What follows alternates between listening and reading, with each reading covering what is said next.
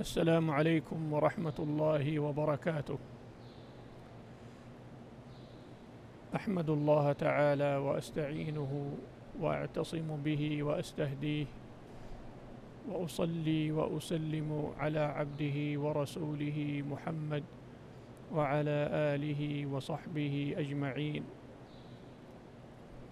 اللهم علمنا ما ينفعنا وانفعنا بما علمتنا وزدنا علما نافعا وعملا صالحا يا رب العالمين. وبعد فهذا إن شاء الله تعالى آخر مجلس لشرح هذا الكتاب المبارك النافع كتاب شرح غاية السول للإمام جمال الدين ابن عبد الهادي الحنبلي المعروف بابن المبرد رحمة الله عليه. وكنا قد وقفنا عند قول المصنف رحمه الله والعلة المتعدية كالقاصرة إن قبلت في صفحة 458 يقول المؤلف رحمه الله والعلة المتعدية كالقاصرة إن قبلت اختاره الأكثر. وقيل تقدم القاصرة وقيل تقدم المتعدية. هذا شروع في مسألة جديدة وهي في تعارض العلتين المتعدية والقاصرة. والعلة المتعدية كما مر في موضعه هي التي يمكن أن تتعدى إلى غير محل النص. فتوجد في صورة أو صور أخرى.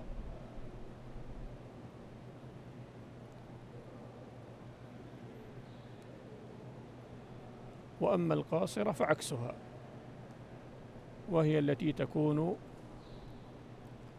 قاصرة على المحل الحكم فلا يمكن أن توجد في صورة أخرى.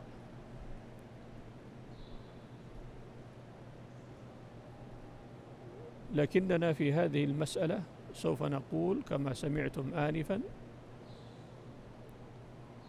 التعارض بين العلتين المتعدية والقاصرة. ولن نقول تعارض قياسين أحدهما علته متعدية والآخر علته قاصرة. هنا فقط في هذه الصورة فقط.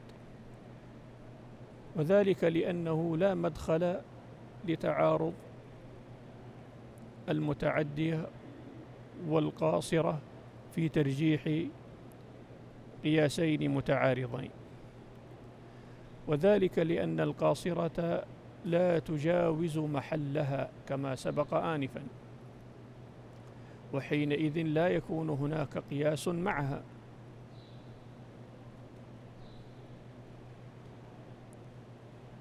بخلاف المتعدية. إذا لن يوجد قياسان متعارضان لامتناعه في صورة العلة القاصرة. وحينئذ ففائدة هذه المسألة ليس في الترجيح بين قياسين وإنما في إمكان القياس وعدم إمكانه. بمعنى أننا إذا قدمنا ورجحنا العلة المتعدية على العلة القاصرة فإنه يمكننا أن نقيس. حينئذ. وإذا رجحنا العلة القاصرة على العلة المتعدية فإنه يمتنع القياس حينئذ.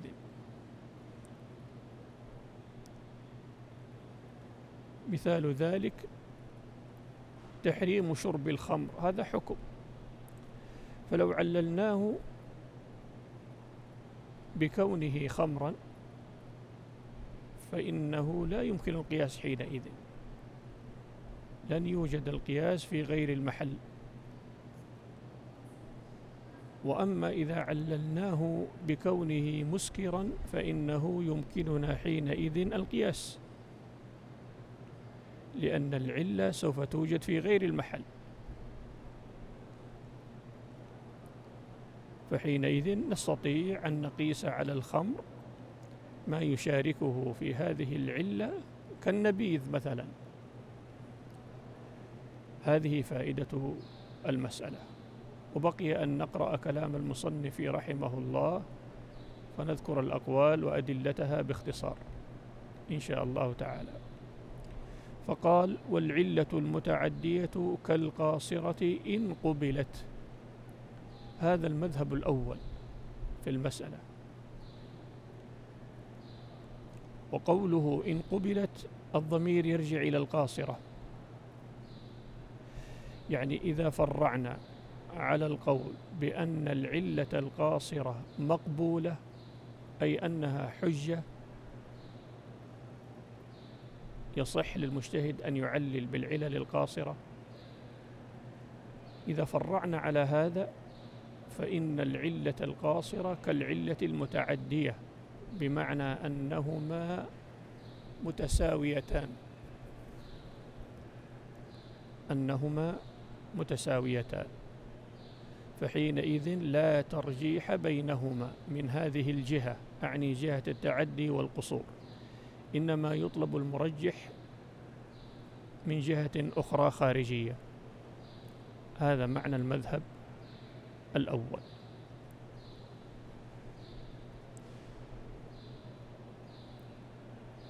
وأما إذا لم تقبل يعني مفهوم قوله إن قبلت مفهومه أن إذا قلنا إن العلة القاصرة لا تقبل فلا يصح للمجتهد أن يعلل بعلة قاصرة أصلا فحينئذ لا تعارض أصلا.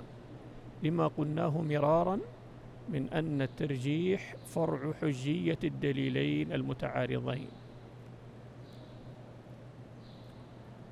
الترجيح يكون بين مقبولين. لا بين مقبول وغير مقبول. لا بين حجة وغير حجة. كما سبق معنا مرارا. لكن قول المصنف لكن قول المصنف رحمه الله اختاره الأكثر فيه نظر وظني أنه سهو منه. لأن هذا المذهب ليس قول الأكثر. وإنما ذهب إليه بعض الشافعية وبعض المالكية وبعض الحنابلة. وأما قول الأكثر فهو المذهب الثالث كما سوف يأتي معنا إن شاء الله تعالى. قال وقيل تقدم القاصرة. هذا المذهب الثاني. وكل هذه المذاهب كما قلنا هو تفريع على القول بحجية العلة القاصرة. جواز التعليل بالعلة القاصرة. المذهب الأول دليله المذهب الأول قبل أن نشرح المذهب الثاني نبين دليل المذهب الأول. المذهب الأول دليلهم قالوا أن كليهما أعني القاصرة والمتعدية أن كليهما حجة يصح التعليل بها فاستويتا ويطلب المرجح من خارج. يعني ما دام أنهما حجتان فهما متكافئتان. فيطلب الترجيح من جهة خارجية. هذا دليل المذهب الأول. قال وقيل تقدم القاصرة. هذا هو المذهب الثاني في المسألة. أن العلة القاصرة ترجح على العلة على العلة المتعدية. وهذا مذهب بعض الشافعية وهو أقل المذاهب أتباعا. ودليلهم قالوا أن العلة القاصرة مطابقة للنص في موردها. ولأن صاحبها يأمن من الخطأ لعدم حاجته إلى التعليل بها في غير محل النص فحينئذ يأمن من الخطأ بخلاف المعلل بالعلة المتعدية فقد يخطئ.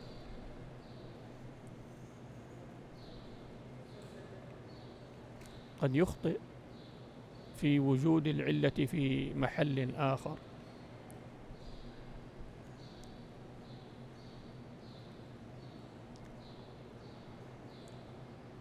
قال وقيل تقدم المتعدية.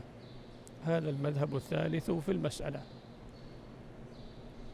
وهو ترجيح العلة المتعدية على العلة القاصرة عكس المذهب الذي سبق. وهذا هو قول جمهور العلماء. ودليلهم على هذا قالوا أن العلة المتعدية أكثر فائدة. لأنها تعدي الحكم إلى محال أخرى. تعدي الحكم إلى محل آخر أو محال أخرى. فما كان أكثر فائدة فهو أولى بالتقديم من الذي لا يفيد. فإن العلة القاصرة لا تفيد قياسا فلا يتعدى الحكم إلى صور أخرى. انتهت المسألة. والآن إن شاء الله نشرع في مسألة جديدة فقال رحمه الله ويقدم الحكم الشرعي أو اليقيني على الوصف الحسي. ويقدم الإثبات عند قوم. وقيل الحق التسوية. انتهت المسألة. هذه مسألة جديدة.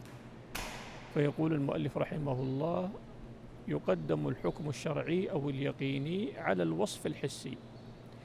يعني إذا تعارض قياسان أحدهما علته حكم شرعي أو علته وصف يقيني.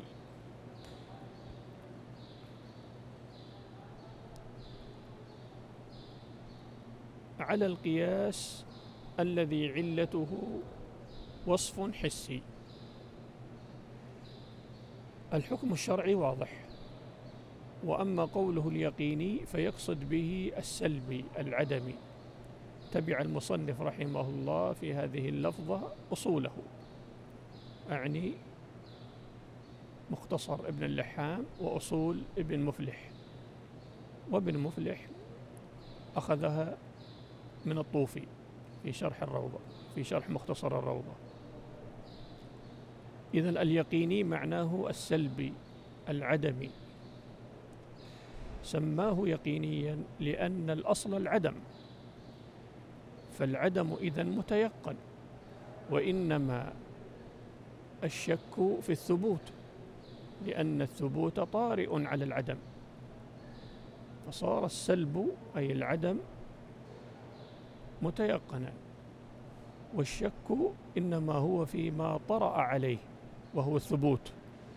هل هو صحيح فيقبل أو غير صحيح فلا يقبل. أما السلب يتفق عليه الكل أنه هو الأصل هو هو القدر المتيقن قبل الخلاف.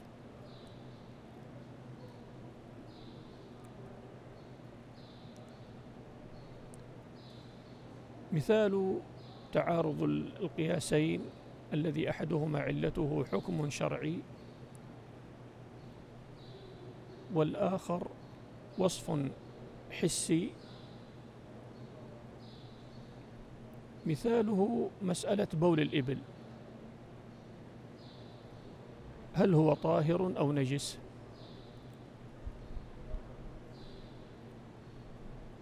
مسألة وقع فيها النزاع. فإذا قال المستدل الحنفي مثلا الحنفي لأنهم يرون نجاسة بول الإبل إذا قال الحنفي مائع استحال من الجوف فيكون نجسا قياسا على بول الآدمي. يقول عن بول الإبل مائع استحال من الجوف. يعني تحول استحال يتحول. من الجوف فخرج بولا. يعني شرب ماء ثم استحال أي تحول في جوفه وخرج منه بولا. هذا معنى العبارة. مائع استحال من الجوف فيكون نجسا قياسا على بول الآدمي. فيقول المعترض أباح الله شربه فيكون طاهرا قياسا على الماء. أباح الله شربه فيكون طاهرا قياسا على الماء. فعلة المستدل وهي قوله مائع استحال من الجوف هذا وصف حسي. وصف حسي يعني المراد بالوصف الحسي أي أنه ليس وصفا شرعيا وإنما هو شيء محسوس. وصف حسي مجرد لا أنه حكم شرعي. وعلة القياس الثاني وهو أنه أبيح شربه أباح الله شربه. كما في قصة العرنيين هذا حكم شرعي الإباحة حكم شرعي. فحينئذ يرجح القياس الثاني على القياس الأول. ومثال الثاني وهو إذا تعارض قياسان أحدهما علته سلبية أي يقينية والآخر علته وصف حسي ثبوتي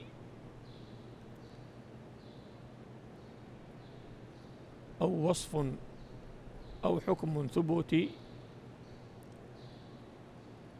مثاله مسألة المجامع ناسيا في نهار رمضان. من جامع أهله في نهار رمضان.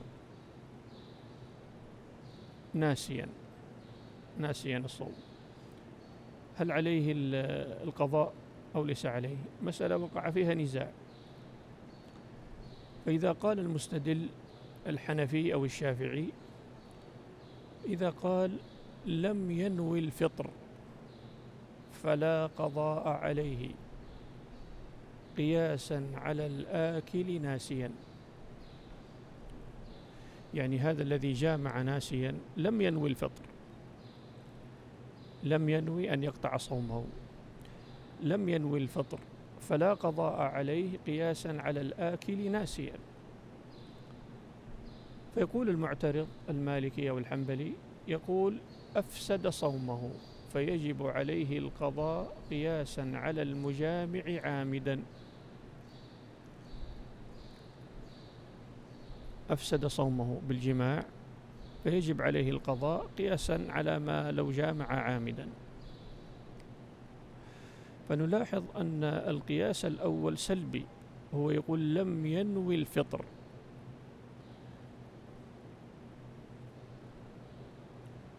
هذا حكم سلبي. وأما القياس الثاني فيقول أفسد صومه هذا حكم ثبوتي. حكم ثبوتي. ليس نفيا هو إثبات يقول أفسد صومه. وحينئذ يرجح اليقيني الحكم الحكم اليقيني القياس الذي علته حكم يقيني سلبي عدمي على القياس الذي علته حكم ثبوتي أي وجودي.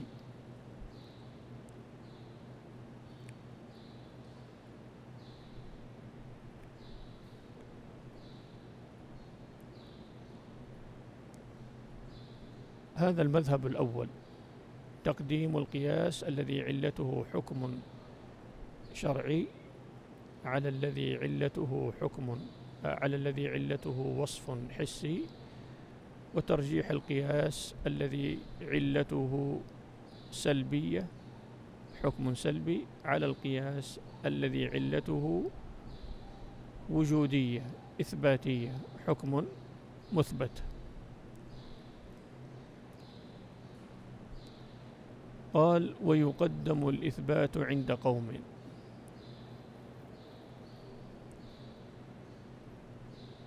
ذهب بعض الأصوليين إلى تقديم القياس الذي علته حكم مثبت على الذي علته حكم يقيني أي سلبي.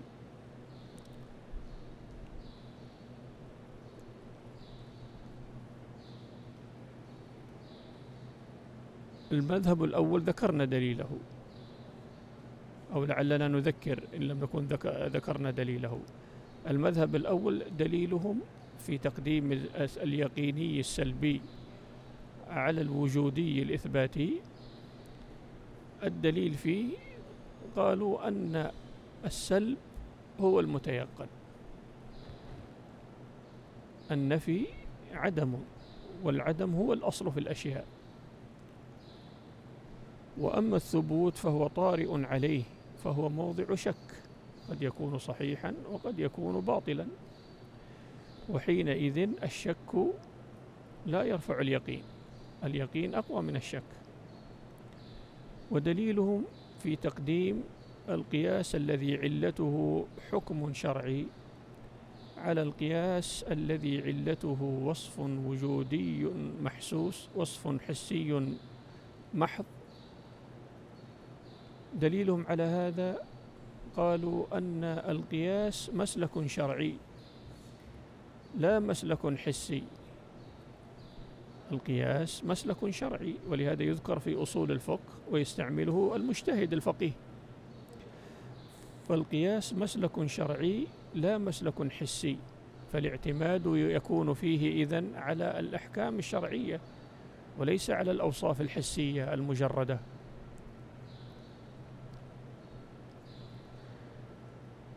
هذا المذهب الأول وأدلته. المذهب الثاني قال ويقدم الإثبات عند قوم. ذهب بعض الأصوليين إلى أنه إذا تعارض قياسان أحدهما علته سلبية والآخر علته إثباتية فإنه يقدم الإثبات على النفي. والدليل قالوا أن في الإثبات علما جديدا أن فيه زيادة علم. وإثبات حكم جديد بخلاف السلب. السلب بقاء على الأصل فليس فيه جديد. وأما الإثبات ففيه جديد.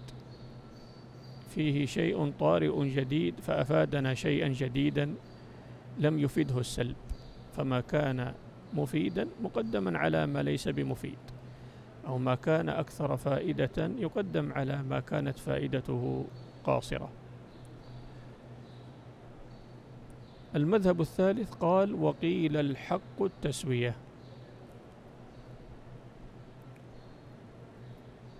يعني فيما ذكر في كل ما ذكر. أعني تقديم القياس الذي علته حكم شرعي. تعارض القياس الذي علته حكم شرعي على القياس الذي علته وصف حسي وتقديم وتعارض القياس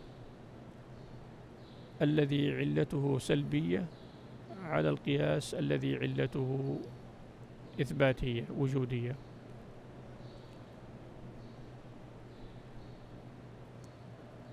أيضا ذهب بعض الأصوليين إلى هذا المذهب واستدلوا بأن كل منهما كل من القياسين المتعارضين في هذه الصورة قد قام الدليل على صحة التعليل بالعلة المذكورة. يعني قامت الأدلة الشرعية على جواز تعليل القياس بالأحكام الشرعية وعلى تعليل القياس بالأوصاف الحسية وعلى تعليل القياس بالإثبات أوصاف أوصاف أو أحكام ثبوتية وعلى التعليل بأحكام سلبية. كل هذه الصور قامت الأدلة على صحة التعليل بها وحينئذ صارت بناء على قيام الأدلة صارت حجة. فاستوت الحجج. استوت الحجج. وحينئذ يحتاج إلى مرجح خارجي. ويجب التسوية بين هذين القياسين المتعارضين فيجب التوقف إلى أن يوجد مرجح خارجي آخر.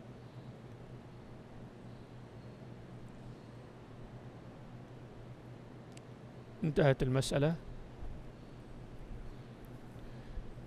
وننتقل الآن إلى مسألة أخرى إن شاء الله تعالى فقال ويقدم المؤثر على الملائم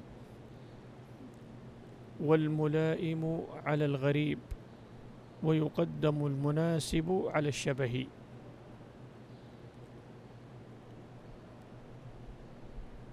هذه ثلاث صور. وهي ثلاث مسائل أيضا.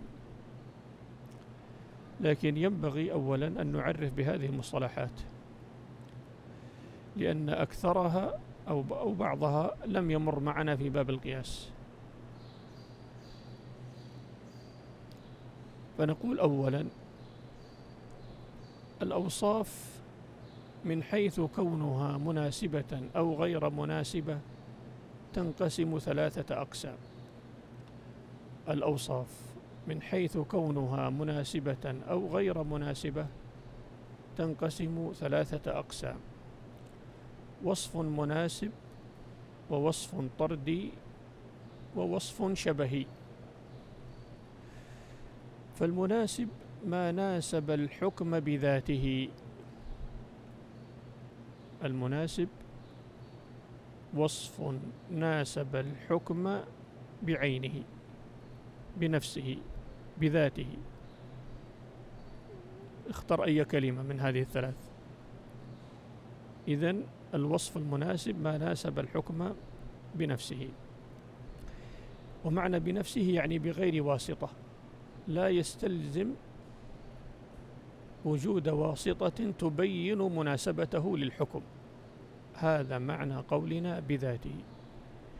أي لا يتوقف. على واسطة يتبين من منها مناسبة هذا الوصف لذلك الحكم.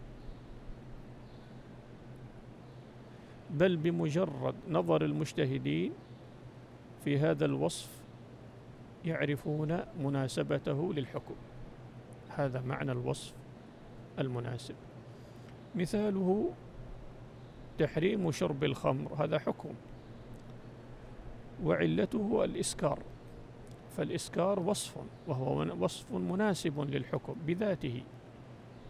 يفهم المجتهدون بل العقلاء جميعا أن الإسكار علة مناسبة لتشريع هذا الحكم وهو تحريم شرب الخمر.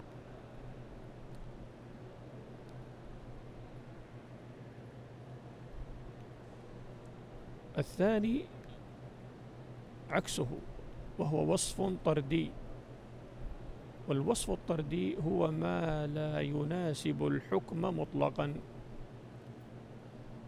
إذا الوصف الطردي وصف لا مناسبة بينه وبين الحكم البتة. مثال ذلك بريرة رضي الله عنها خيرها النبي صلى الله عليه وسلم حين عتقت على زوجها وكان عبدا أسود.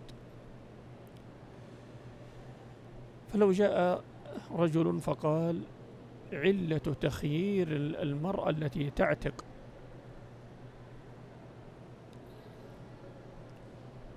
تحت زوجها هو كون زوجها لونه أسود. فيجعل وصف السواد في الزوج علة. ومن ثم يبني عليه قياسا فيقول إذا عتقت الأمة تحت زوج حر لونه أسود فإنها تملك الخيار. تملك الخيار يعني تستطيع أن تبقى معه تختار أن تبقى معه أو أن تنفصل عنه تفارقه. والجامع كون كل منهما لونه أسود. فنقول وصف السواد وصف طردي.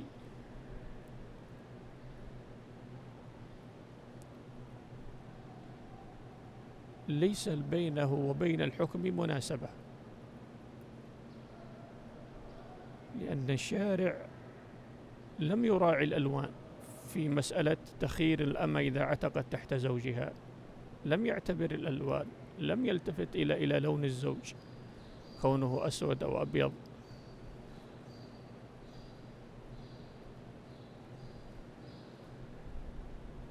فوصف السواد وصف طردي لا تظهر له أي مناسبة للحكم المذكور.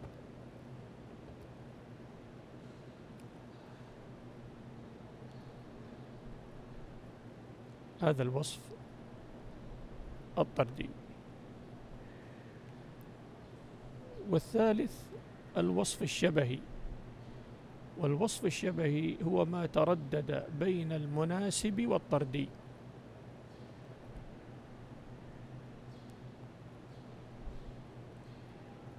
ما تردد بين المناسب بين الوصف المناسب وبين الوصف الطردي. بمعنى أننا لا نجزم بكون هذا الوصف وصفا مناسبا ولا بكونه وصفا طرديا. وذلك لأن الجامع بين الفرع والأصل هو مجرد التشابه في الصورة الحسية. أو في حكم من الأحكام الخارجية الأخرى. فهذا التشابه في الصورة أو في الحكم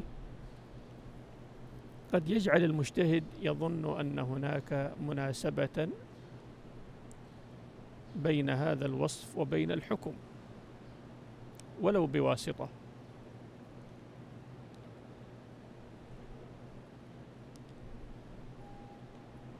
فلا يمكن جعله وصفا طرديا كما أنه لا يمكن أن يجعل وصفا مناسبا لأنه لم تظهر فيه المناسبة مباشرة بل احتيج إلى واسطة تبين المناسبة.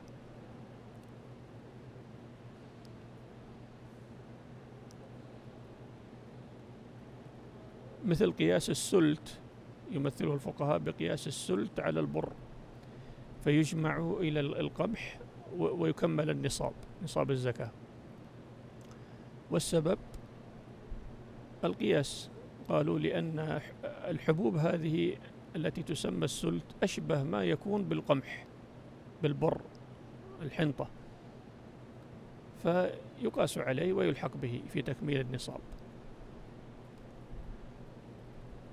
هذا مثال التشابه في الصورة. ومثال التشابه في الحكم قياس العبد على البهيمة.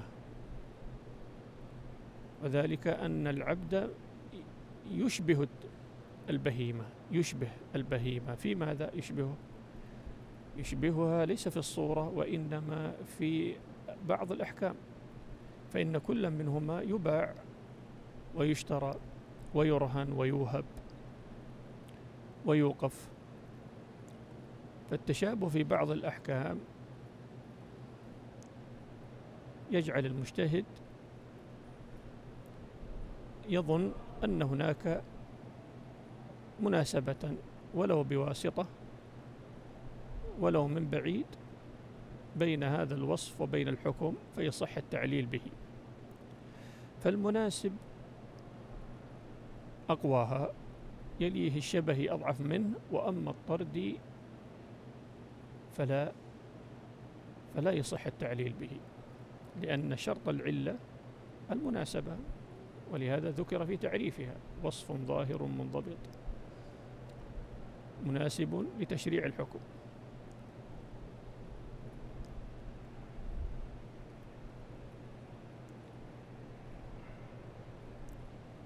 والقياس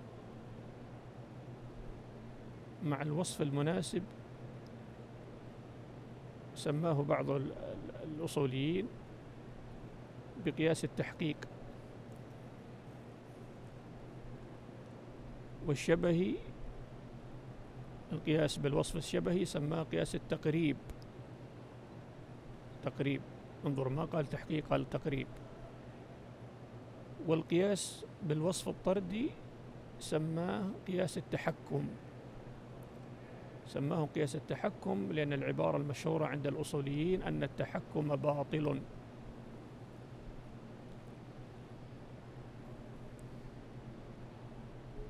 والتحكم معناه الحكم بلا دليل.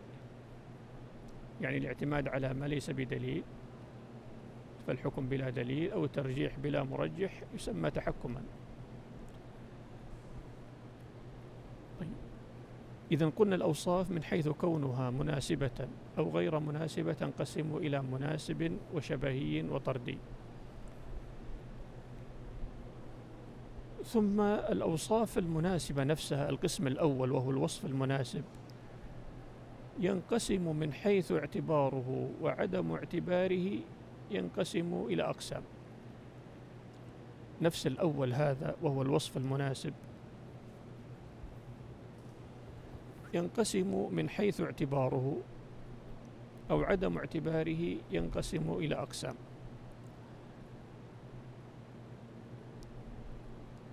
إلى خمسة أقسام. الأول هو المؤثر.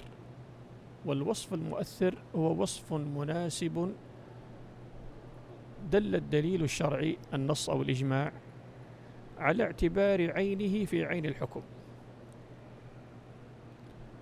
المؤثر وصف مناسب دل النص أو الإجماع على اعتباره بعينه علة في عين الحكم. فهذا أعلاها. وأقواها.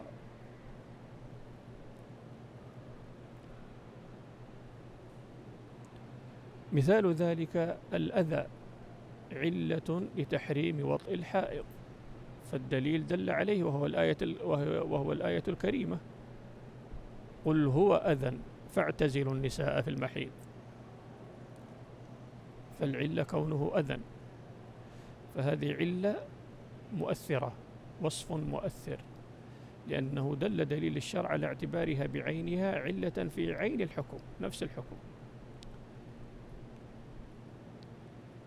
وعلى هذا يقاس على الحائض النفساء فلا يجوز لزوجها أن يجامعها وقت النفاس والعلة هي العلة وهي كونه أذى هذا يسمونه الوصف المؤثر. الثاني الوصف الملائم. والملائم وصف مناسب. دل النص أو الإجماع على اعتبار عينه علة لجنس الحكم. وصف مناسب. دل النص أو الإجماع على اعتبار عينه علة لا في عين الحكم لأن هذا هو المؤثر وإنما في جنس الحكم. أو على اعتبار جنسه أي جنس الوصف علة, علة لعين الحكم. عكس الأول. عكس الذي قبله يعني. أو اعتبار جنسه علة في جنس الحكم. فهذه ثلاثة أحوال للوصف الملائم. إذا وصف مناسب دل دليل الشرع على اعتبار عينه علة في جنس الحكم أو اعتبار جنسه علة في عين الحكم أو اعتبار جنسه علة في جنس الحكم.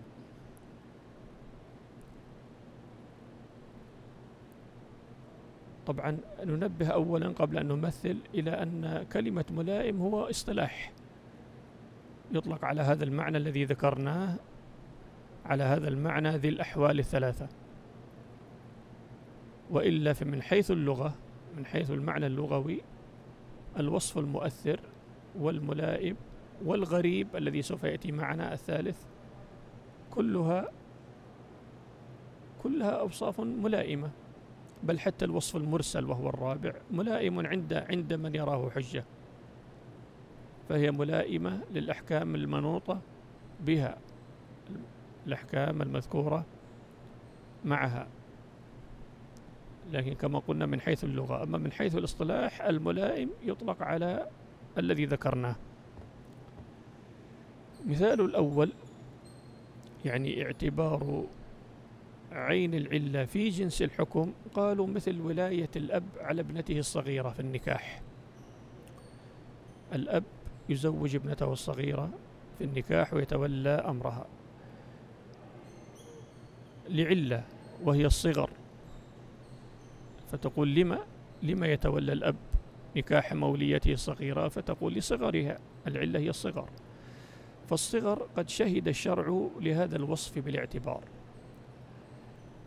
لكن ليس في عين الحكم ليس في عين الحكم وهو مسألتنا مسألة النكاح. وإلا لصار وصفا مؤثرا. وإنما في جنس الحكم.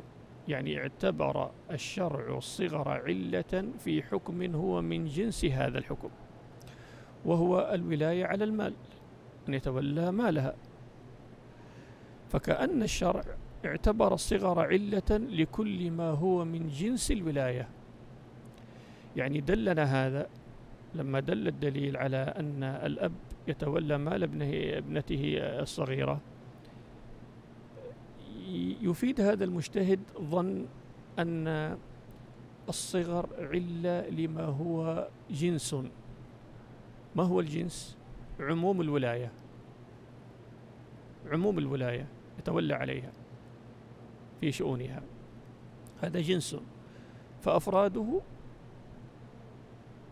الولاية في المال والولاية في النكاح هي أفراد هذا الجنس. فلما ثبت الحكم في أحد الأفراد وهو الولاية في المال ينسحب إلى الفرد الآخر وهو الولاية في النكاح لأنهما جنس واحد فبينهما تجانس. هذا مثال الأول. مثال الثاني وهو ما اعتبر جنسه وصف الذي اعتبر جنسه علة في عين الحكم قالوا مثل جمع الصلاة في اليوم المطير. إباحة جمع الصلاة في اليوم الماطر الشرع اعتبر الشارع للجمع بين الصلاتين وصفا من جنس هذا الوصف وهو السفر فجوز فيه الجمع للمسافر. فحينئذ صار المطر والسفر يجمعهما جنس واحد. يعني يدخلان تحت جنس واحد وهو مظنة المشقة. مظنة المشقة حين يؤدي كل صلاة في وقتها. ومظنة المشق المشقة هذا وصف يصلح علة للحكم المذكور وهو التخفيف على المسلم بأن يجمع الصلاتين في وقت إحداهما. مثال الثالث وهو اعتبار جنس الوصف جنس الوصف في جنس الحكم وهو أضعف الأحوال الثلاثة. مثاله شرب قليل الخمر. كالقطرة والقطرة والقطرتين. أو الرشفة. والرشفتين. شرب قليل الخمر والخلوة بالأجنبية هذان وصفان. لهما جنس واحد يرجعان إليه يدخلان تحته. وهو الذريعة إلى فعل المحرم. إذا الذريعة إلى ارتكاب المحرم هذا جنس. ومن أفراده شرب قليل الخمر والخلوة بالأجنبية. وحرمة كل منهما هو أيضا جنس وهو مطلق التحريم مطلق التحريم هذا جنس. أفراده ما هي؟ أفراده حرمة الخلوة وحرمة الشرب. فهذه أفراد تدخل تحت جنس واحد وهو مطلق التحريم. ال ال القسم الثالث هو الوصف الغريب. والوصف الغريب وصف ملائم لم يدل الدليل الشرعي على كونه مؤثرا ولا على كونه ملائما. يعني هو مناسب من حيث النظر. وصف مناسب من حيث نظر المجتهد فيه يراه أنه مناسبا لتشريع الحكم يراه أنه مناسب لتشريع الحكم لكنه ما دل دليل الشرع على اعتبار عينه في عين الحكم ولا عينه في جنس الحكم ولا جنسه في عين الحكم ولا جنسه في جنس الحكم. بمعنى باختصار أنه وصف مناسب ما دل دليل الشرع على كونه مؤثرا ولا ملائما. فحينئذ يسمى غريبا. لأنه ما وجد في صورة أخرى فصار مثل الغريب الوحيد. مثال ذلك قول النبي صلى الله عليه وسلم لا يرث القاتل شيئا. حرمان القاتل من ميراث المقتول له علة وعلته ليس مجرد القتل. العلة ليس القتل وإنما العلة هي حرمانه من الميراث. عفوا هذا الحكم لكن العلة ليست هي مجرد القتل وإنما هي التهمة أنه استعجل شيئا قبل أوانه فيعاقب بحرمانه. استعجل الميراث قبل أوانه قبل أن يموت مورثه. فعمد إلى قتله فيعاقب بنقيض قصده. فيحرم الميراث. هذا العلة تهمته بأنه استعجل شيئا قبل أوانه فيعاقب بحرمانه ويعاقب بنقيض قصده. هذه علة مناسبة يعني يفهم العقلاء إذا سمعوا هذا الوصف يفهمون مناسبة بينه وبين الحكم وهو حرمانه من الميراث. فهذا لا شك أنه مناسب. فيقاس عليه من طلق امرأته في مرض موته. لما رأى نفسه أنه سوف يموت ذهب وطلق امرأته فحينئذ لا يقع الطلاق. لماذا؟ فنقول لأجل التهمة. تهمة حرمانها من الميراث فيعامل بنقيض قصده. فنحن إذا نظرنا نجد أن الشرع لم يلتفت إلى هذا الوصف في موضع آخر.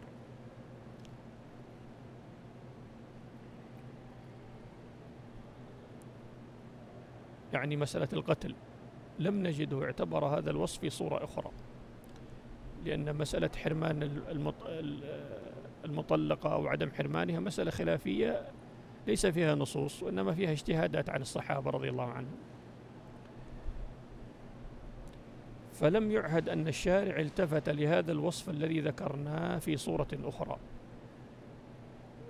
مع أنه مناسب فتبقى مناسبته مجردة غريبة. فيسمى وصفا غريبا. الرابع هو الوصف المرسل وهو وصف لم يشهد له الشرع باعتبار ولا بإلغاء. فهذا أقل رتبة مما قبله. يعني نحن نرتبها من حيث الأقوى فالأضعف.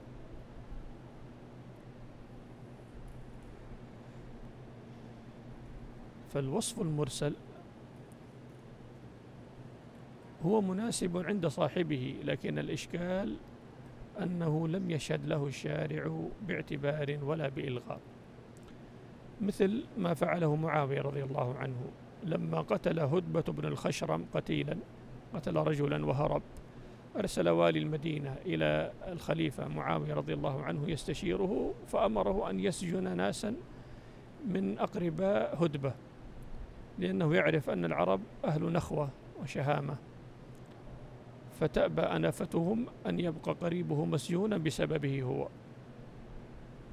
فلما سمع هتبة بذلك جاء وأسلم نفسه للوالي. ليقتص منه.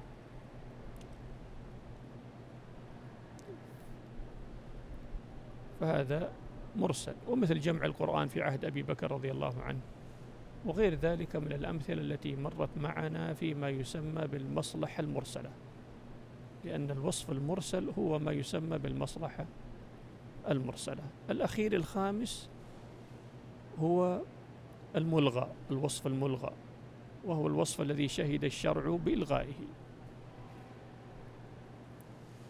فمهما حسن المجتهد له ذهنه مناسبة هذا الوصف فهو ليس مناسبا على الحقيقة. ومن ثم فلا يصح اعتباره ولا بناء الأحكام عليه. مثاله فتوى يحيى بن يحيى الليثي رحمه الله تلميذ الإمام مالك رحمه الله. حين أفتى أحد ملوك الأندلس لما رآه كثير الانتهاك لحرمة رمضان. يجامع أهله أو سريته ويذهب ويستفتي العلماء قالوا عليك عتق رقبة. قال ما أسهل عتق الرقبة يأتي ويعتق رقبة. فلما رأى الإمام يحيى أنه كثير الانتهاك لحرمة رمضان أفتاه حين سأله ماذا علي؟ قال عليك صيام شهرين متتابعين. طيب لما لما لما يعني أفتاه بهذا؟ أفتاه بهذا لأجل لأجل زجره عن انتهاك حرمة الشهر الفضيل. فهذا الوصف وصف ملغى وإن ظهرت مناسبته لهذا الإمام لكنه في الحقيقة وصف ملغى لأن الشرع شهد بإلغائه لأن الشرع نص على الترتيب. نص على الترتيب في الكفارة كفارة الجماع في رمضان. فلا يصح تقديم خصلة على أخرى. على أن الشرع يتشوف لعتق الرقاب. هذا أقسام الوصف المناسب. وبه فهم ما معنى المؤثر والملائم والغريب والشبهي. وقول المصنف رحمه الله هنا ويقدم المناسب على الشبه المقصود بالمناسب هنا ما يشمل كل أنواع الوصف المناسب. يعني ويقدم المناسب سواء كان سواء كان مؤثرا أو ملائما أو غريبا يقدم بكل صوره على الوصف الشبهي لأنه في جميع أحواله أقوى من الشبه كما سيأتي إن شاء الله. نبدأ بالأول الآن. قال ويقدم المؤثر على الملائم.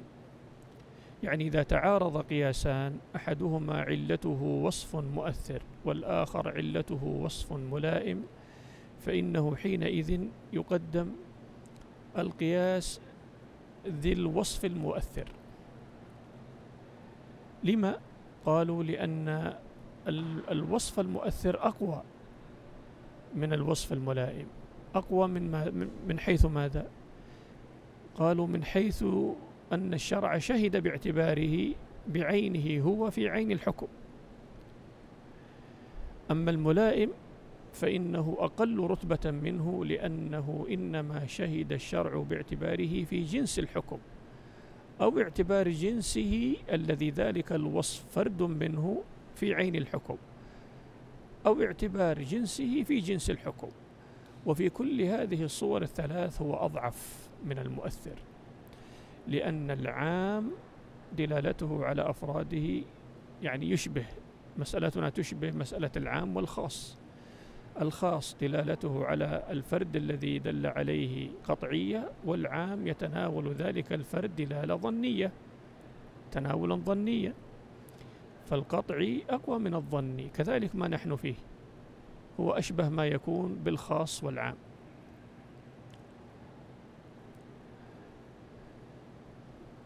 وأيضا أن في التعليل بالوصف الملائم يعني أيضا يقال أن الوصف المؤثر لم يختلفوا لم يختلف الأصوليون في التعليل به إنما اختلفوا فيما عداه وهو التعليل بالوصف الملائم وبالوصف الغريب. فدل اتفاقهم في المؤثر واختلافهم في الملائم والغريب على أن المؤثر أقوى مما عداه. وأيضا أن في التعليل بالوصف الملائم مظنة الخطأ. يعني الخطأ قائم محتمل ما نجزم بصحة التعليل به. لما؟ قالوا لاحتمال أن العلة معنى آخر غير هذا الشيء المذكور. ويحتمل أن الحكم تعبدي. وهذه الاحتمالات لا يمكن أن توجد في التعليل بالوصف المؤثر. فمن هنا قلنا آنفا إنهم لم يختلفوا في التعليل بالمؤثر وإنما اختلفوا في التعليل بالملائم والغريب. أما أما المثال مثال هذه المسألة الأولى فلم أجد مثالا لتعارض قياسين أحدهما وصف مؤثر علته وصف مؤثر والآخر علته وصف ملائم. قد يوجد أمثلة لكنني ما وقفت على مثال لهذه المسألة. نأتي إلى المسألة الثانية. قال والملائم على الغريب. أي إذا تعارض قياسان وأحدهما علته وصف ملائم والآخر علته وصف غريب قدم الأول على الثاني. لما؟ ما الدليل؟ قالوا لأن الوصف الملائم قد دل دليل الشرع على اعتباره ولو في جنس الحكم. فهو نوع من الاعتبار أيضا. فيكون في كل أحواله أقوى من الغريب الذي ما دل دليل شرعي على تأثيره ولا ملائمته.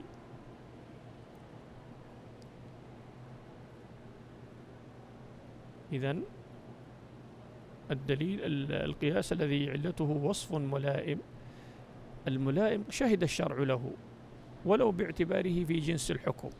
أو جنسه في عين الحكم أو جنسه في جنس الحكم.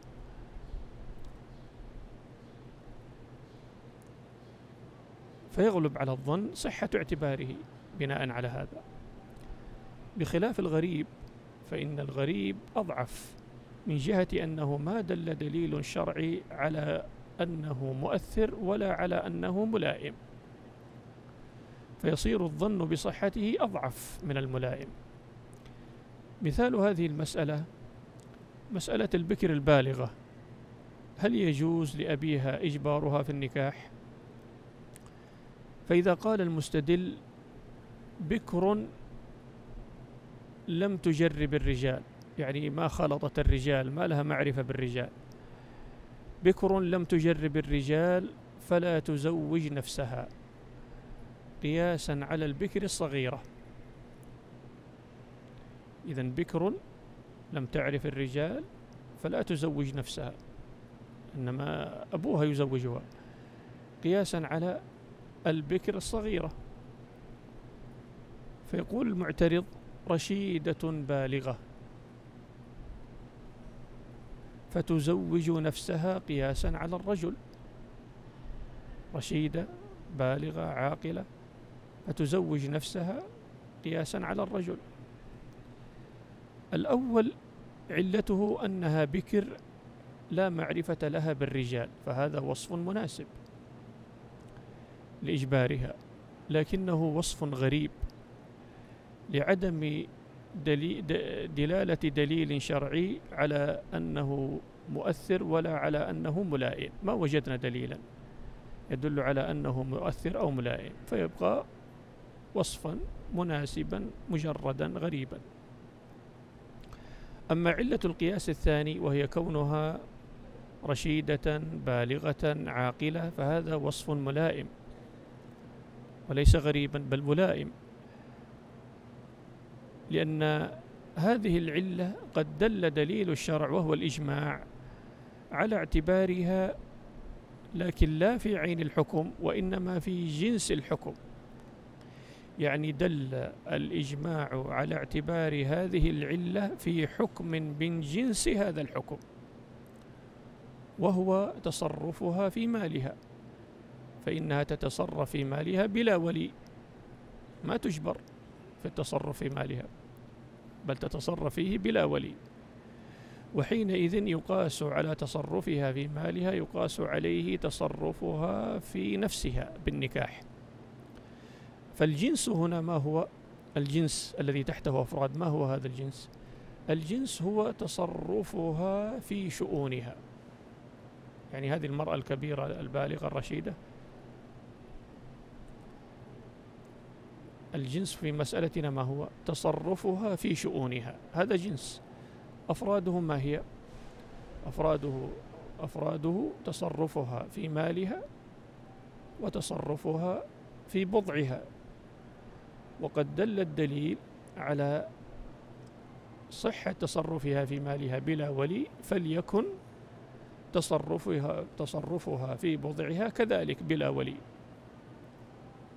تسوية بين أفراد الجنس الواحد لوجود التجانس بين أفراد ما ترجع إلى جنس واحد.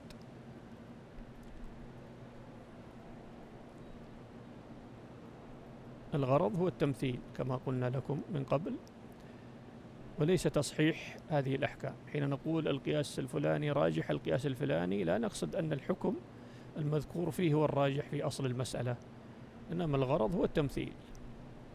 أما الترجيح في أصل هذه المسائل يستلزم جمع كل الأدلة والمناقشات والردود والنقود وهذا محله ليس في أصول الفقه. وإن محله في علم الخلاف أو ما يسمى اليوم بالفقه المقارن. نأتي إلى المسألة الثالثة. قال ويقدم المناسب على الشبهي. يعني إذا تعارض قياسان علة أحدهما وصف مناسب وعلة الآخر وصف شبهي رجح الأول على الثاني. رجح القياس. ذو الوصف المناسب على القياس ذي الوصف الشبهي. لما ما الدليل على هذا الترجيح؟ قالوا لأن المناسب أقوى من الشبهي من حيث أن مناسبته بنفسه هو بغير واسطة يعني بمجرد النظر فيه تعرف مناسبته. أما الشبه فلا تظهر فيه مناسبة. يعني هو في نفسه لا تظهر منه المناسبة عادة. وإنما يستلزم المناسبة. يعني في ظن المجتهد أنه يستلزم مناسبة. فلهذا علل به. يعني أن الوصف الشبهي يحتاج إلى واسطة تقودنا إلى بيان وجه مناسبة هذا الوصف لذلك الحكم. وحينئذ فما يدلي بنفسه خير وأولى مما يدلي بواسطة. الذي يدلي بنفسه ليس كالذي يدلي بواسطة. ألا ترون أن الإبن يقدم على ابن الإبن في الميراث؟ كذلك ما نحن فيه.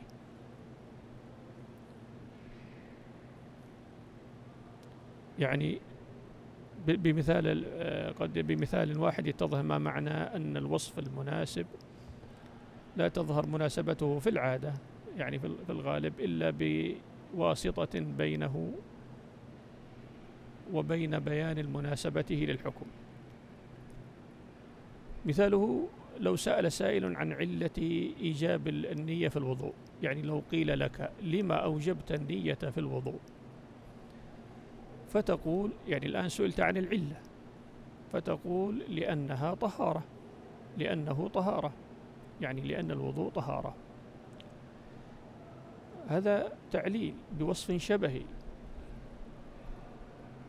لماذا؟ لأن الطهارة ما تظهر مناسبتها للحكم المذكور وهو اشتراط النية ما تظهر مناسبتها بنفسها. إنما تظهر مناسبتها من حيث إنها عبادة. يعني أنها طهارة شرعية فهي عبادة. فإذا قلنا عبادة ظهرت المناسبة. ظهرت مناسبتها للحكم المذكور وهو اشتراط النية. إنما الأعمال بالنيات. العبادات لازم لها من نية. طيب يبقى مثال هذا هذه المسألة. مسألة تعارض قياسين أحدهما علته وصف مناسب والآخر علته وصف شبهي. مثاله ما لو قال المستدل في مسألة النبيذ لو قال النبيذ مسكر فيحرم شربه قياسا على الخمر. فيقول المعترض مائع ليس بخمر يعني هذا النبيذ مائع أي سائل مائع ليس بخمر فلا يحرم شربه قياسا على العسل. علة القياس الأول وهي الإسكار وصف مناسب للتحريم. فما من عاقل إذا قيل له المسكر يحرم عندنا في الشريعة إلا ويفهم المناسبة. يفهم المناسبة. ولهذا صار حفظ العقول صار مقصدا من المقاصد الكلية الخمسة الكبرى المعروفة الضروريات الخمس. أما علة القياس الثاني فهي وصف شبهي محض. هو يقول مائع ليس بخمر هذا وصف شبهي محض. شبه في الصورة وهو قوله مائع فإن هذا مائع وهذا مائع. وشبه في الاسم يقول هو ليس بخمر. كما أن العسل ليس بخمر. فهذه فهذا وصف شبهي محض. فيرجح الأول على الثاني. ثم قال المؤلف رحمه الله والمرجحات كثيرة جدا لا يمكن حصرها. هو المصنف رحمه الله يقول بعد ذلك بعد أن ذكر جملة كثيرة من المرجحات يقول والمرجحات كثيرة جدا لا يمكن حصرها. العبارة الأولى قوله كثيرة جدا هذه قد تسلم له. نعم هي كثيرة. لكن قوله لا يمكن حصرها هذا هذا قد لا نسلمه له. لأنه يمكن حصرها. فلو أنه عبر بقوله يصعب حصرها يعصر حصرها. ونحو هذه العبارات لكان لكان أنسب من كلمة لا يمكن. ثم قال وضابطها ضابطها بمعنى القاعدة الكلية لها. القاعدة الكلية التي تجمع جميع المرجحات هو ما هو ما سيأتي الآن إن شاء الله. قال وضابطها اقتران أحد الطرفين بأمر نقلي أو اصطلاحي أو قرينة عقلية أو لفظية أو حالية مع زيادة ظن. هذه القاعدة الكلية للمرجحات. يقول ضابط المرجحات مما ذكر ومما لم يذكر الضابط له الذي يجمعه أي القاعدة الكلية هي أن يقترن أحد الطرفين أحد الطرفين أي أحد الدليلين المتعارضين. وقوله اقتران ليس المقصود به أن يكون متصلا به وإنما المقصود أن يوجد معه سواء كان متصلا به أو كان منفصلا عنه فإنه قد قرنه به المجتهد. فلهذا عبر بالاقتران. يعني إذا كان متصلا بالدليل واضح الاقتران. إذا كان منفصلا يعني دليلا خارجيا فكيف يكون مقترنا به؟ فنقول قرن بينه وبين ذلك الدليل المجتهد العلماء المجتهدون. ضموه إليه لأن هذا هو عمل المجتهدين. المجتهدون ماذا يفعلون؟ يضمون دليلا إلى دليل. يفعلون كل هذا في كل مسألة. يضمون دليلا إلى دليل وكل قرينة إلى كل دليل. يقرنون بينها. فهذا معنى قوله اقتران. قال بأمر نقلي الأمر النقلي أي آية أو حديث أو قول صحابي مثلا. أو اصطلاحي.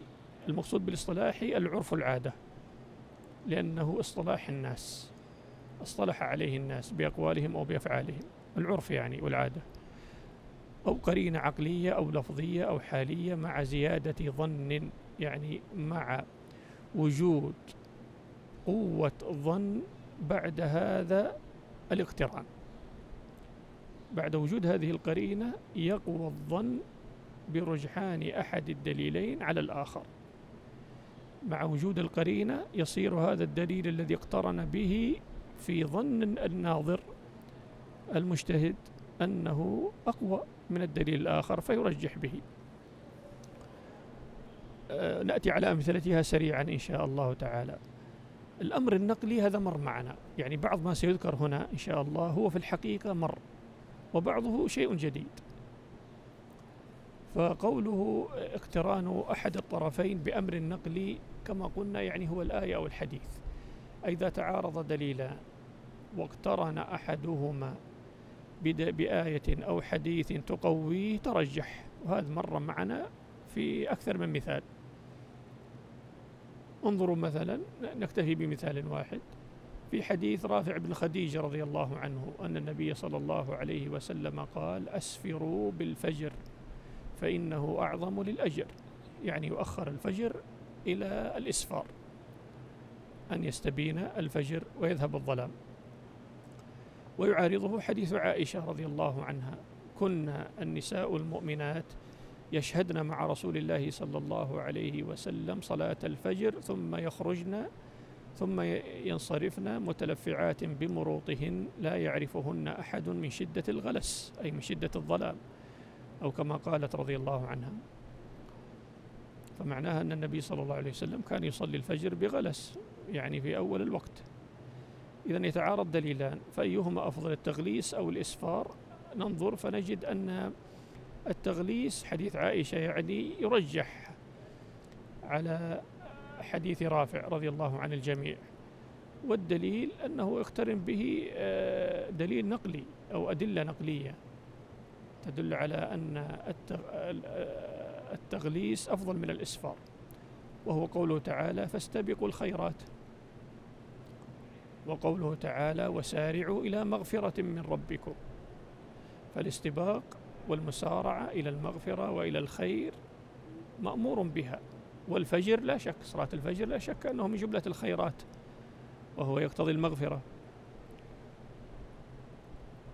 هذا قوله بأمر نقلي ثم قال أو اصطلاحي وقلنا الاصطلاحي معناه العرف والعادة. ومثاله ما إذا طلق الرجل امرأته ثم تنازع يعني بعد أن بانت منه تنازع في أثاث المنزل أثاث البيت. كل واحد يقول أنا اشتريته أو يقول وهبه لي الآخر ولا بينة لكل منهم لكل منهما. فلمن يكون الأثاث؟ كل يدعيه ولا بينة هذا خلاف بين الفقهاء. فإذا قال المستدل على أن الزوج أحق بالأثاث إذا قال الزوج أسبق يدا عليه. يعني سبقت يده على الأثاث قبل امرأته فيكون أحق به. قياسا على من لا زوجة له. إذا الزوج أسبق يدا على عليه على هذا الأثاث فيكون أحق به قياسا على من لا زوجة له. وقياسا أيضا على من سبق إلى مباح.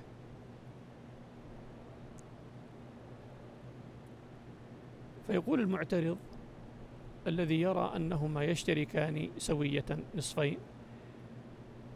يقول الدليل على أنهما يشتركان فيه مناصفة آه الأثر المروي عن ابن مسعود رضي الله عنه أنه قال فيما إذا تنازع الزوجان بعد الطلاق قضى ابن مسعود رضي الله عنهما أنهما يتحالفان ويشتركان فيه مناصفة في كل شيء. فتعارض القياس والأثر فإذا قلنا إن القياس وأثر الصحابي قول الصحابي أنهما متكافئان فحينئذ نحتاج إلى مرجح. فحينئذ نرجح بالعرف بالأمر الاصطلاحي أي بالعرف الذي تعارف عليه الناس. فإن كان عرف الناس أن الأثاث بعد الطلاق يكون للزوج يكون له وإذا كان العرف أنه ليشتركان يشتركان وإذا كان للزوجة للزوجة. يعني العرف يكون مرجحا بين هذين الدليلين المتعارضين. ومثله أيضا آه، مسألة وقت الوليمة. مسألة يذكرها الفقهاء في باب الوليمة من كتاب النكاح. ما هو وقت الوليمة؟ هل السنة في الوليمة أن تكون بعد الدخول أو تكون بعد العقد قبل الدخول؟ خلاف بين الفقهاء. ولكل أدلة.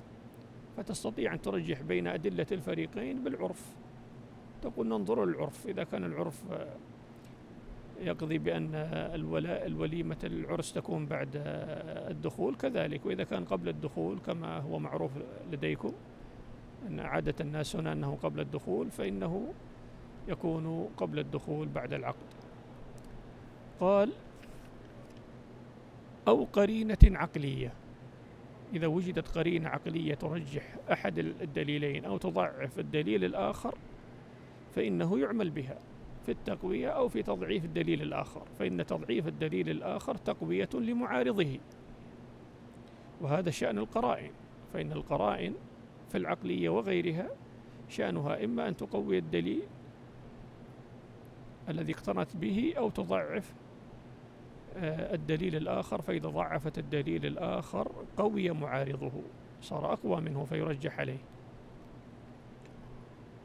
مثال القرينة العقلية مسألة ما إذا أوصى السيد لعبده برقبة نفسه.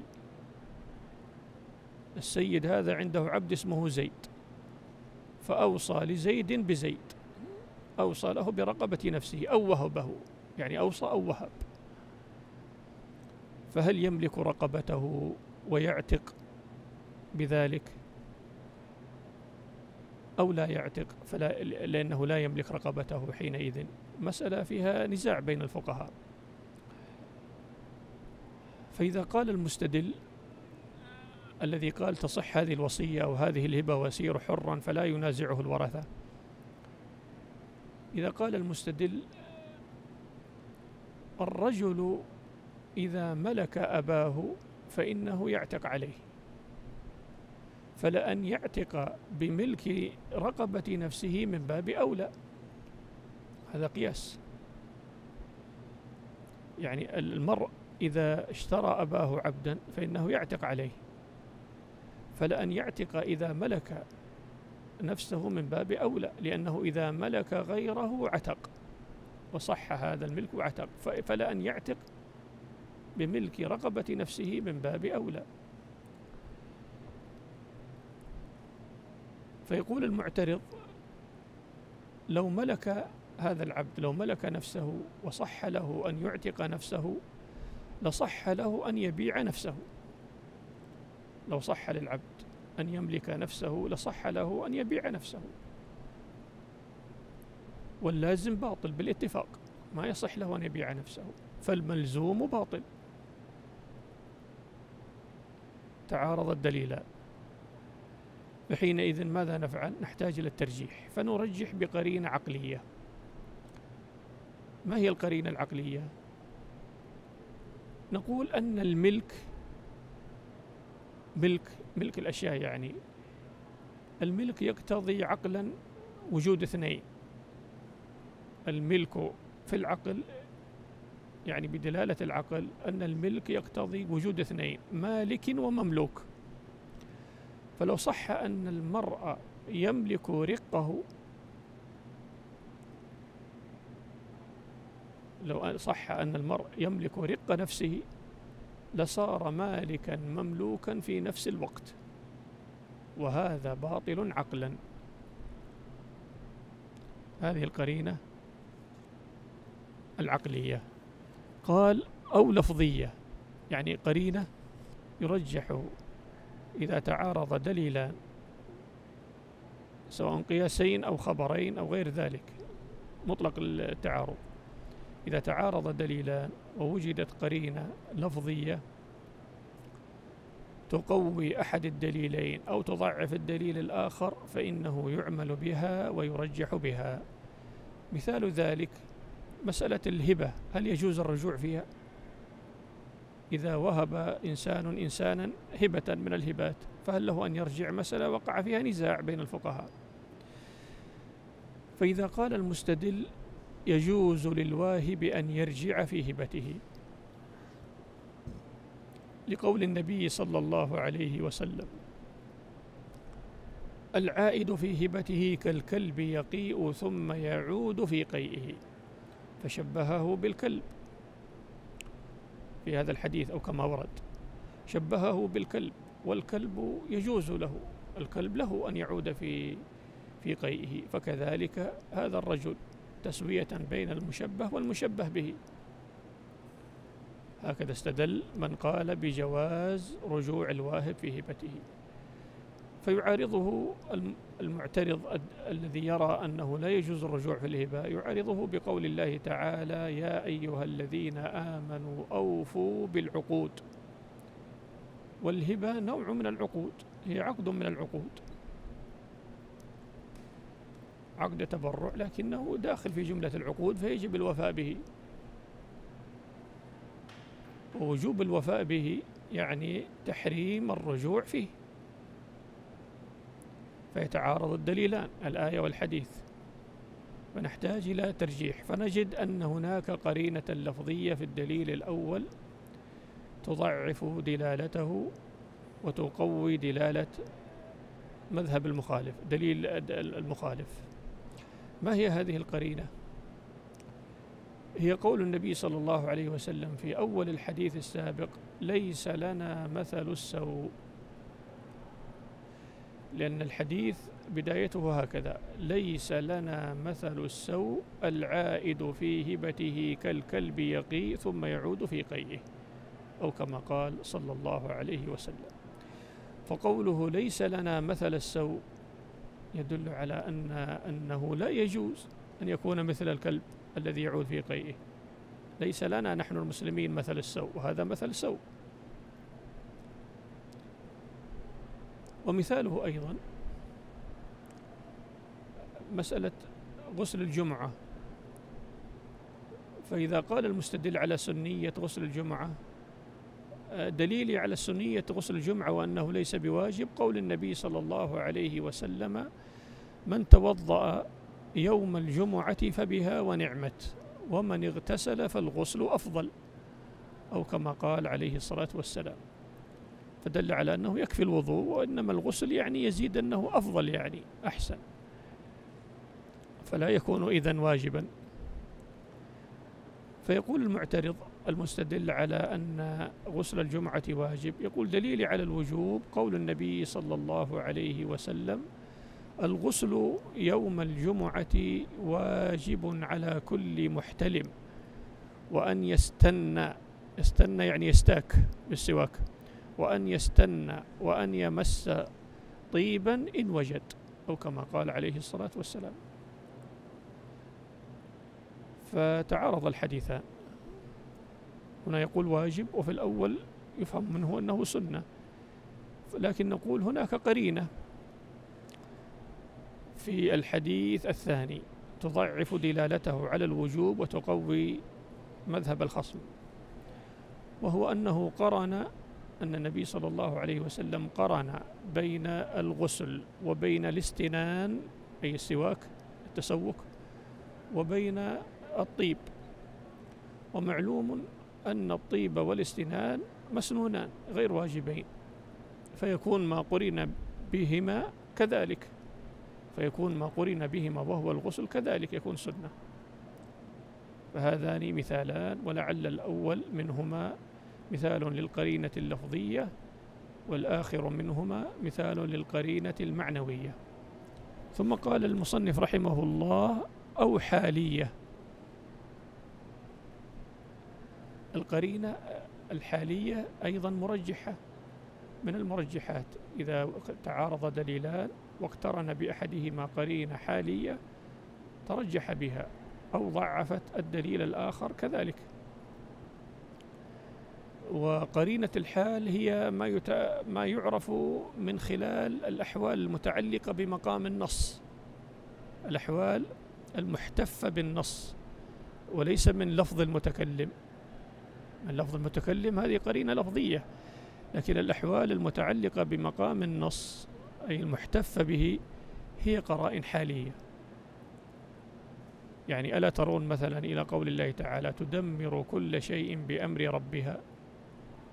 يعني ريح عاد تدمر كل شيء. هذا عام لكن دلت القرينة الحالية على التخصيص لأن الحال المشاهد أنها ما دمرت السماوات والأرض والجبال.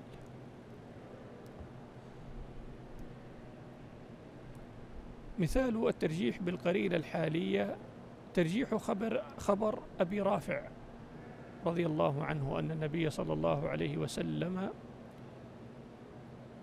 قال تزوج النبي صلى الله صلى الله عليه وسلم ميمونة وهما حلالان وكنت الرسول بينهما أو كما ورد. ويعارضه حديث ابن عباس رضي الله عنهما أن النبي صلى الله عليه وسلم تزوج ميمونة وهو محرم. فيرجح خبر أبي رافع بقرين حالية. وهو أن أبا رافع رضي الله عنه وعن الجميع أنه شاهد الحال شاهد القصة يقول وكنت الرسول بينهما هو الرسول بينهما فهو شاهد للحال وقد أخبر أنهما حلالان أي غير محرمين. فيرجح إذن حديثه على الحديث الآخر. ومثاله أيضا حديث أبي هريرة رضي الله عنه من بدل دينه فاقتلوه. أو كما ورد. ويعارضه حديث ابن عمر رضي الله عنهما أن النبي صلى الله عليه وسلم نهى عن قتل النساء. فيتعارض الحديثان في صورة وهي المرأة المرتدة. فإن المرتدة من جملة النساء وهي مرتدة. فهل تقتل أو لا تقتل خلاف بين الفقهاء. ويتعارض الحديثان في هذه الصورة. فيرجح الحديث الأول من بدل دينه فاقتلوه لقرينة حالية ما هي القرينة الحالية؟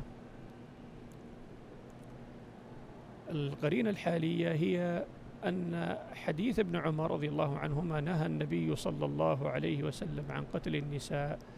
هذا إنما قاله في حال وهي أنه في بعض غزواته رأى امرأة مشركة آه، مقتولة فنهى عن قتل النساء. فهذا الحال يكشف لنا أن النبي صلى الله عليه وسلم ما أراد بالنساء المرتدات ما أراد بالنساء إلا الكافرات الأصليات وليس المسلمات اللاتي ارتددن عن الإسلام. فهذان مثالان للقرينة الحالية. أحدهما يقوي الدليل الذي اقترن به والآخر يضعف الدليل الذي اقترن به ويقوي الآخر.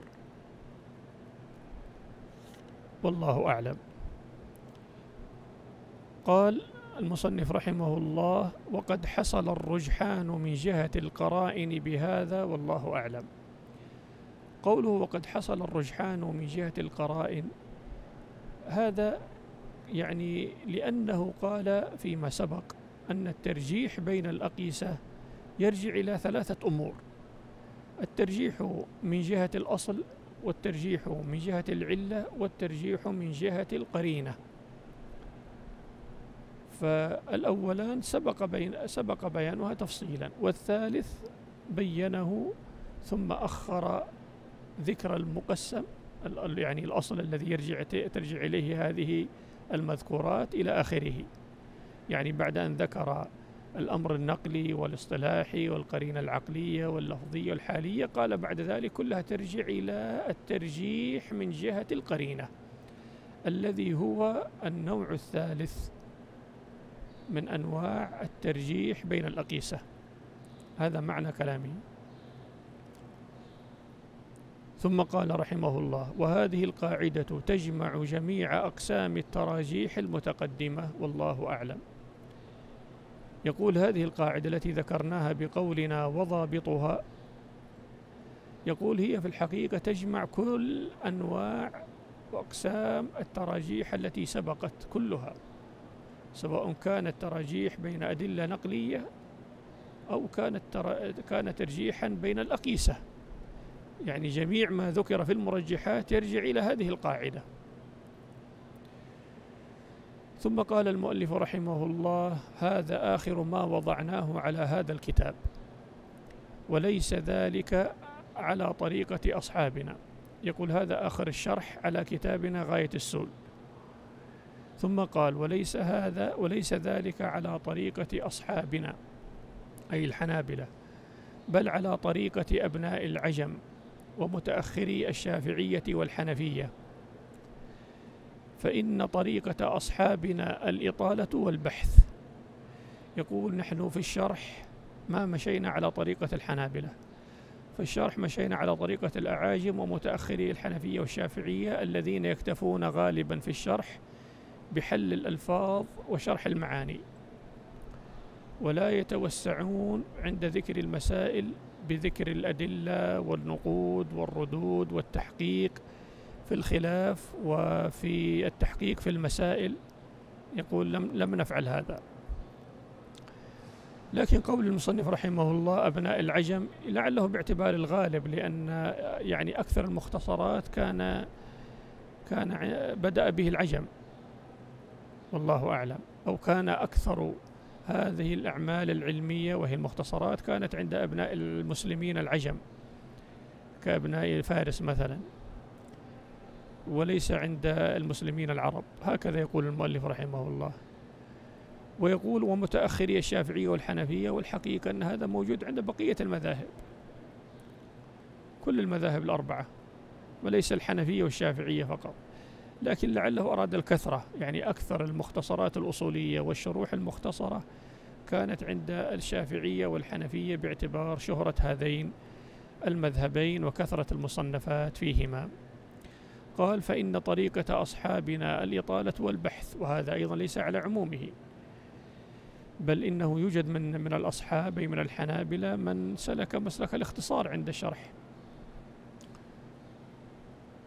ومنهم من أطال. قال وإنما فعلنا ذلك إيضاحا لبعض الألفاظ وتبيينا لتحصيلها. يقول وإنما سلكنا هذا المسلك في الاختصار عند الشرح لأن الغرض هو حل الألفاظ وشرح المعاني ليحصل المقصود في تحصيل ذلك المتن بأن يحفظ ويفهم لأن الإطالة قد يعني تكف الطلاب عن المقصود الأصلي تمنعهم عن الإحاطة بمدلول ألفاظ ذلك المتن.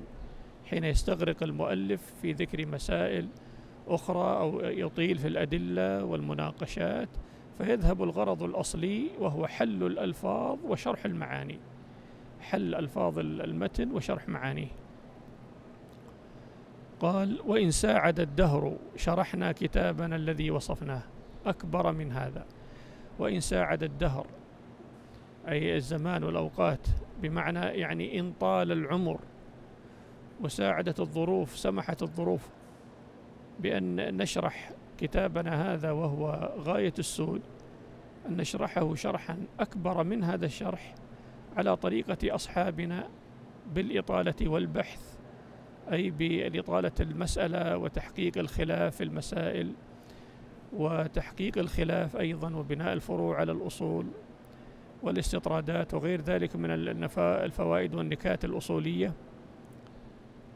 فعنا هذا. يقول إن ساعد الدهر على هذا فعنا.